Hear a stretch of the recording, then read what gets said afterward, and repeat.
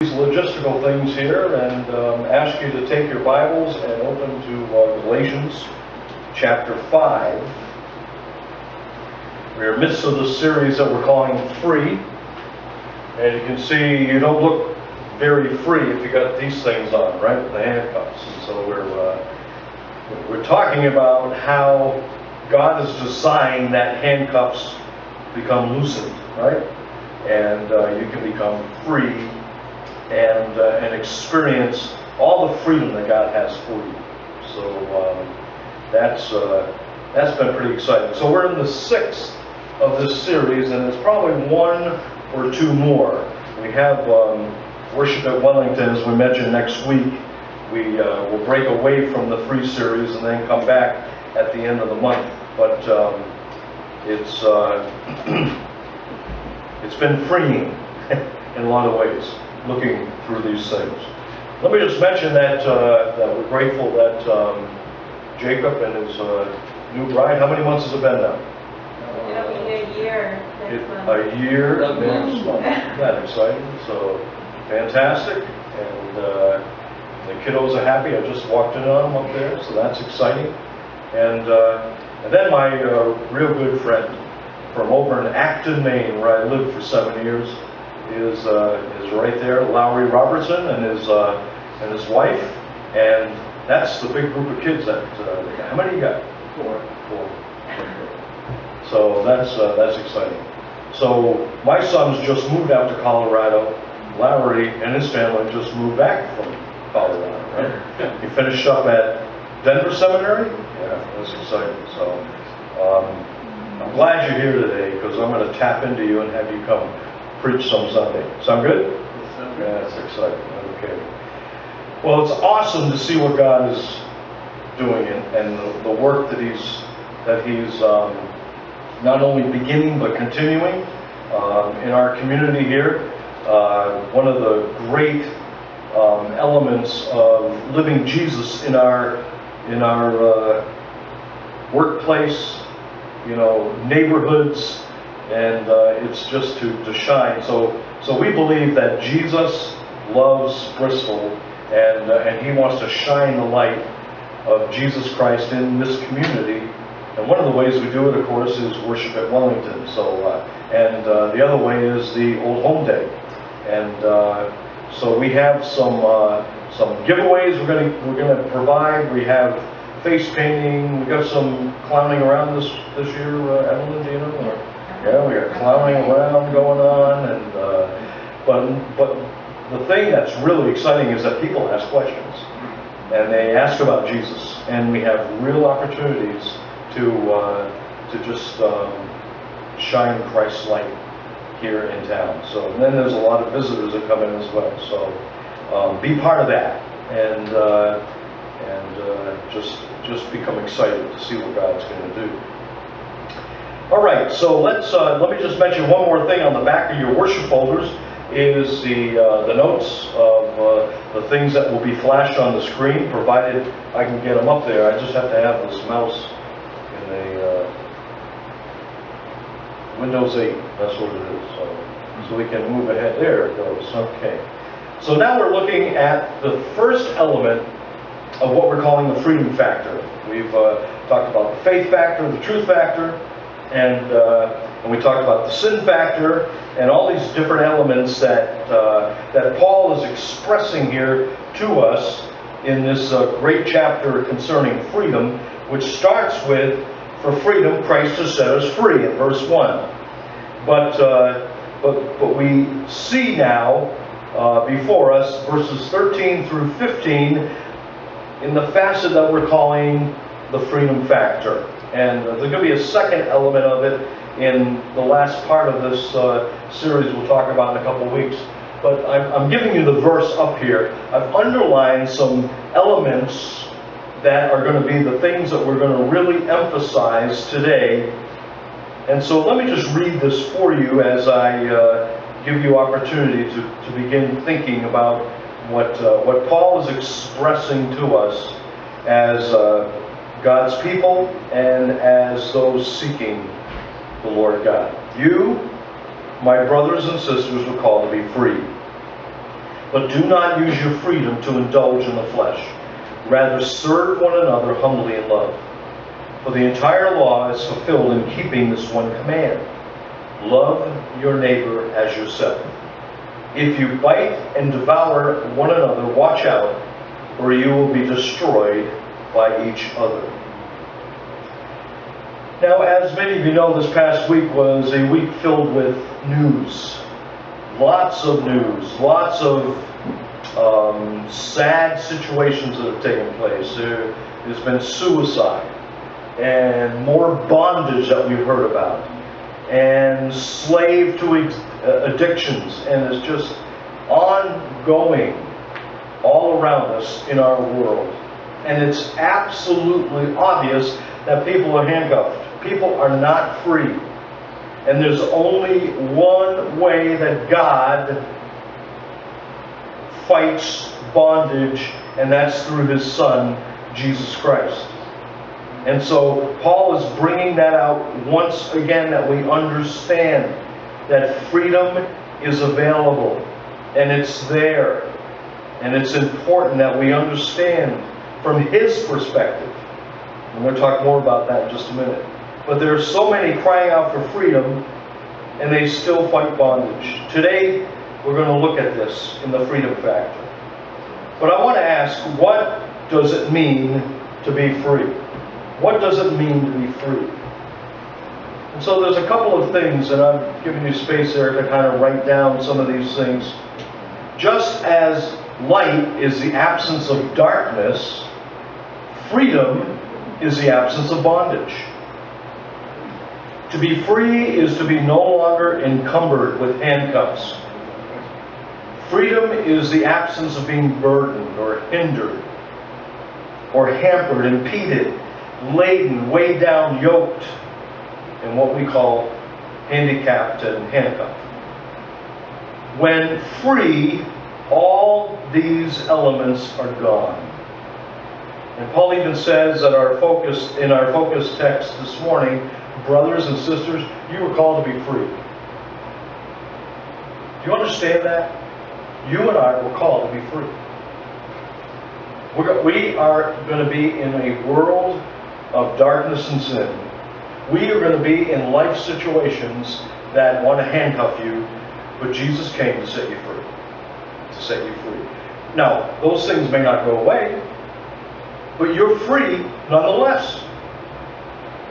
And God can bring things into your life, even though the bondage is all around you, that can make you free and help you enjoy that. So God's blue, blue, blueprint, there's the word, for Christ's followers is freedom. And, and let me qualify this for you because Paul here in Galatians 5, Jesus, as we mentioned in John 8, where it says, You will know the truth, and the truth will set you free, speak of freedom, but it's in terms of heavenly thinking. Heavenly thinking. You, you may not come out of bondage situations, but you don't need to be bound in them. Because Jesus has come to set you free. So freedom, understand, is not license. Let's understand this from God's perspective. Freedom is not license. The misuse of your freedom leads to a return to being burdened and re-handcuffed. Freedom is responsibility.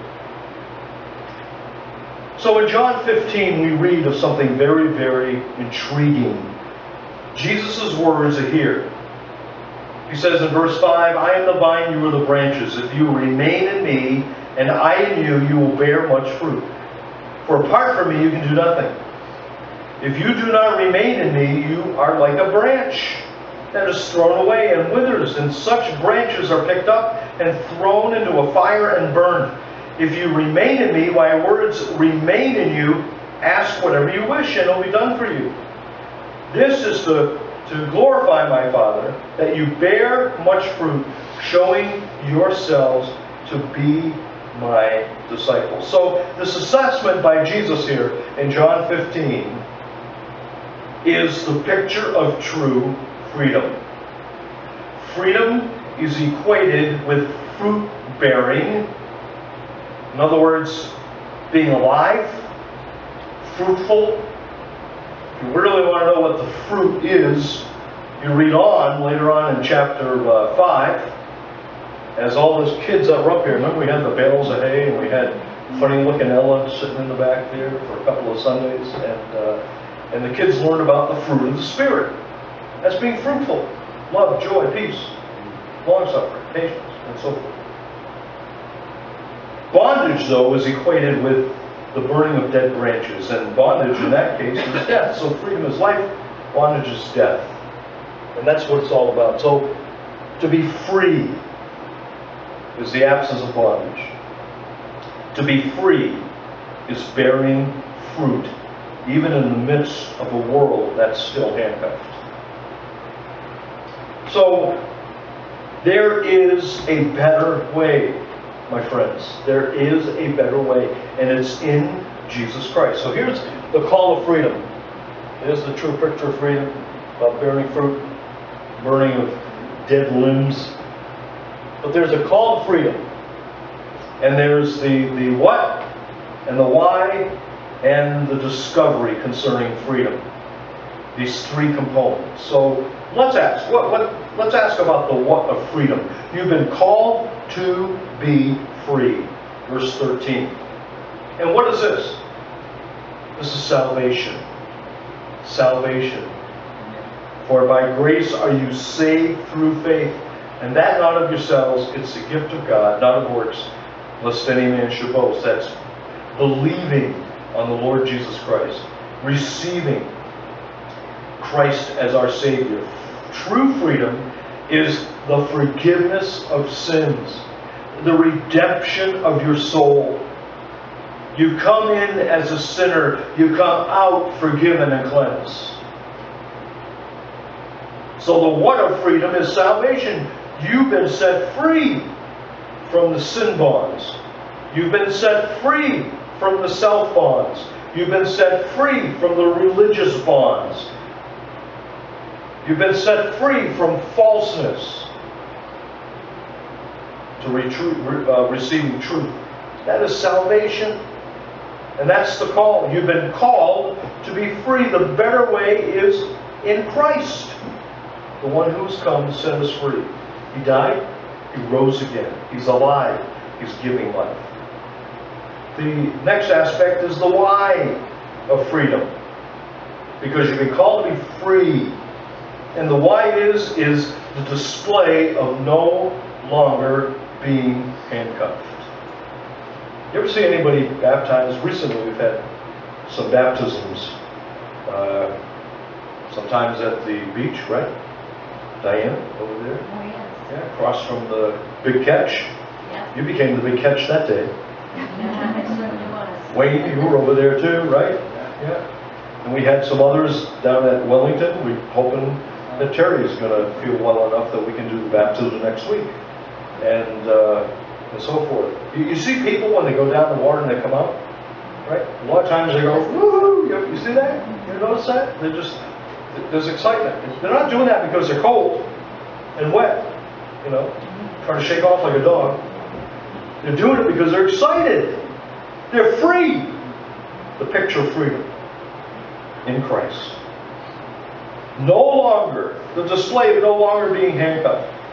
Whereas handcuffs display bondage, a living, lively relationship with Jesus Christ displays freedom. That's what it's all about. And then finally, the discovery. The discovery element of freedom. You are called. What, what, what a, you know, it's like eyes are open. you see clearly. It's like the smoke is gone and you can see. The discovery is a transfer. It's a transferal from self to Savior, from sin to salvation, from suffering to satisfaction. That's the whole element of being called to be free. The better way is life with Jesus. If you feel handcuffed, if you feel in your life that you're stuck, if you like stuck in the mud, if you feel that there's no way out, give Jesus a try.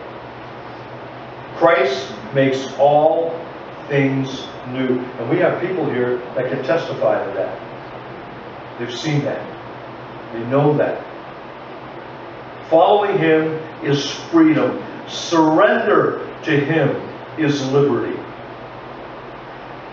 So the freedom factor tells us that we're called to be free. And so when you are free, some very amazing things happen. And so we're going to tell you about two of those today, right from this words here that Paul has given to us in verses 13 down to 15. Actually 13 to 14, and then we'll just make a, a comment about verse 15. But the first element of the freedom, freedom factor is service. Service. You, my brothers and sisters, were called to be free, so he says what? Serve one another. Serve one another. So you say, well, wait a minute, I've been set free, but now I'm to be a servant? Remember, we're, we're thinking from God's perspective. This is from the heavenly. And, and the real freedom comes when we follow Christ fully, even to the point of doing what he says, serving others. And so, um, it's coming up, here it comes. To serve, and that's being connected with Jesus. Connected with Jesus. You were called to be free, now serve one another. The freedom comes when you're connected with Jesus because Christ is freedom. He offers freedom because he broke free from death, and then he asks us to break free from self and serve one another. Jesus asks you to serve because he himself served, right? Remember the picture where Jesus came and washed the disciples? I mean, they should have been washing his feet as the Lord, but he got down and he washed their feet.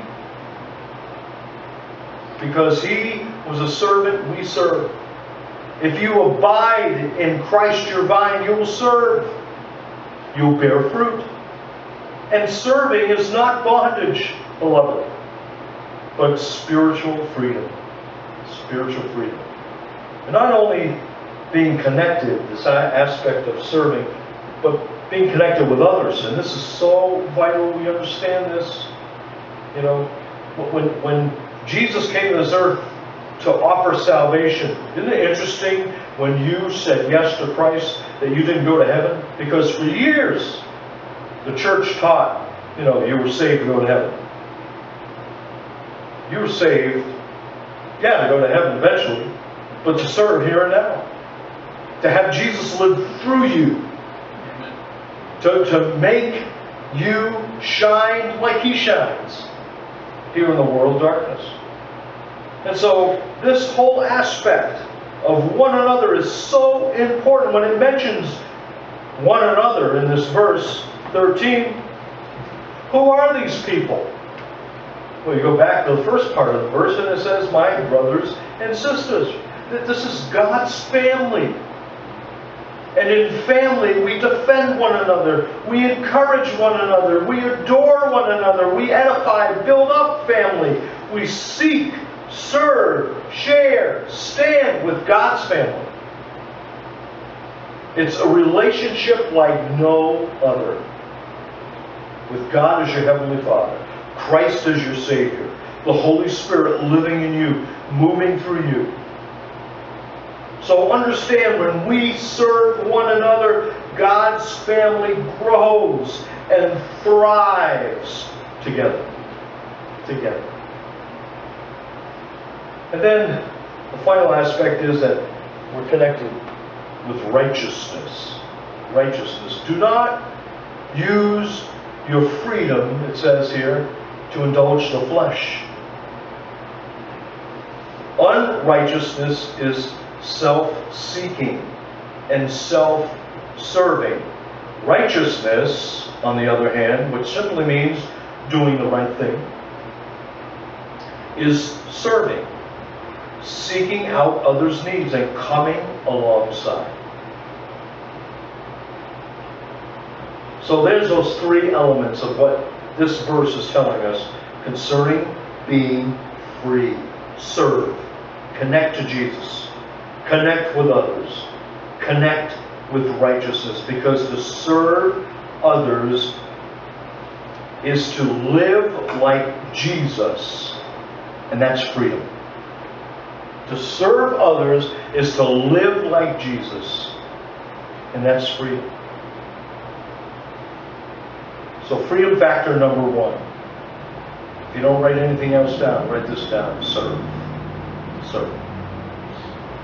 Okay, the next freedom factor, freedom factor number two, is to love.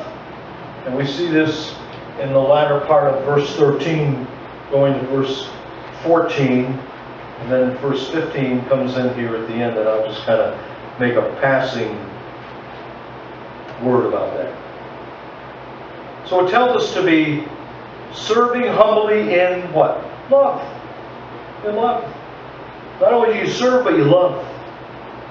You serve Christ. You love Him. Our motto here is to love God, love others, make disciples, right? And so this this is this is all about life in Christ. I've heard people talk about the Christian life. That word Christian is tossed around so much. That's why a lot of times we use the term Christ followers instead. But the whole aspect of life in Christ is love. Humbly in love. Verse 14, for the entire law is fulfilled in keeping this one command, love your neighbor as yourself. Love your neighbor as yourself. And then he qualifies, verse 15, if you fight and devour one another, watch out, or you'll be destroyed by one another.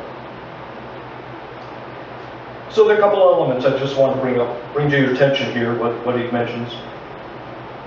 This whole aspect of love is a, first of all, humble love. Humble life. And um, following Christ because he was humble. He humbled himself as God and became man, right? He humbled himself even as man to become a slave or a servant. And then he humbled himself because you think even a servant has a right to live. He humbled himself to die. And he didn't die for anything he did, but he took our sins on him and died. But see, that's the humble love aspect. The humble love aspect. So what happened? He wonderfully died on the cross and broke from the grave free. His humility ultimately exalted him. Isn't that great? And you know, you know what, folks? That's free. It's free. To become humble is free. Jesus experienced it. Paul experienced it. Some of you have experienced it. It's free. It's free. So he says, serve humbly in love. And Jesus knew what he was talking about because he did that very thing. And that's why it's a Christ-like love. A Christ-like love. Not only a humble love, but a Christ-like love. Jesus did this for us. And that's why it says, you keep with this commandment. You love your neighbor as yourself. It's pretty interesting when you think about it, because what Jesus is saying and what he's doing is that he's reiterating the command that he gave way back in Matthew 22. Right? Love God. Love others. Well, how do you love others? As yourself. Right? You know, that guy over there, isn't that lovely? So I think I'll step on his flowers. Well, come on. would you want that done to yourself? Would you do that to yourself? That's what is being expressed in this command. That Paul is reiterating here that Jesus stated years ago. Christ like love. Christ like love. And Jesus showed that kind of love. Pretty exciting. Pretty, uh, pretty amazing when you think.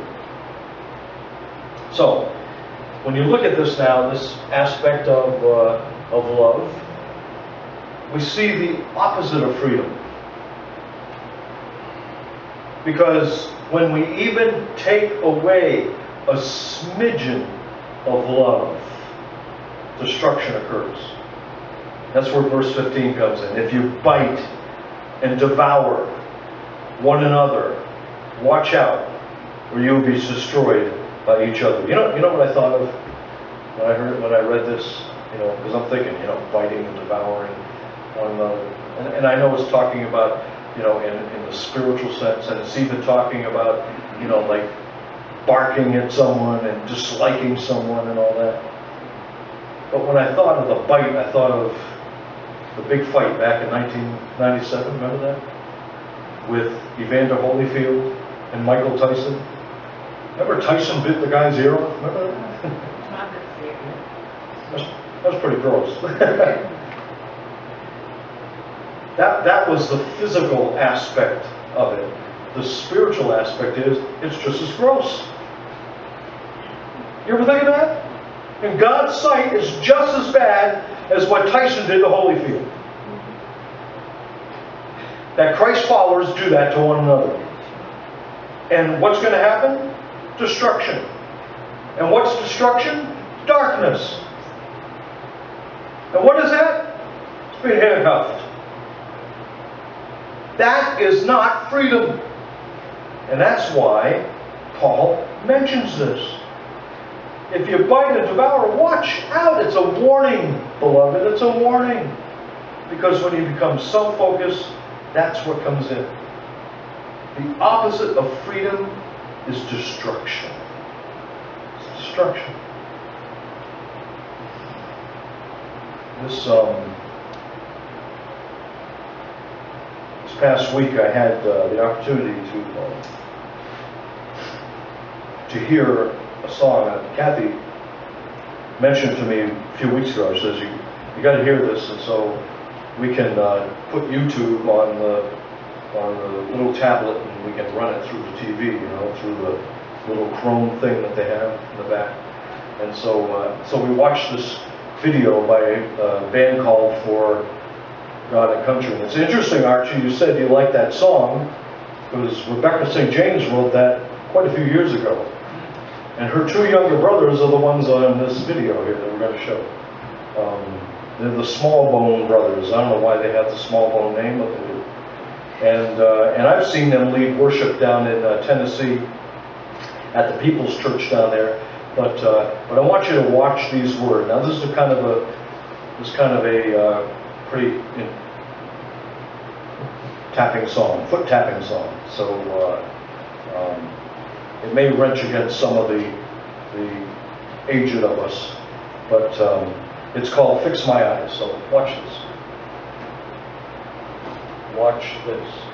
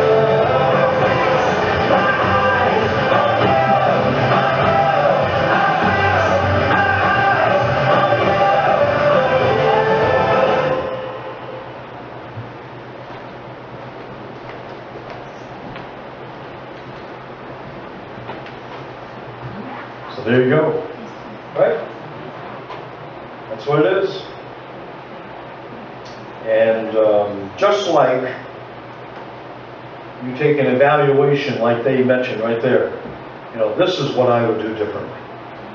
You know, I look at my life, what is does it yield? What can happen now? When Jesus takes over, you know, you live like you're not scared. You love.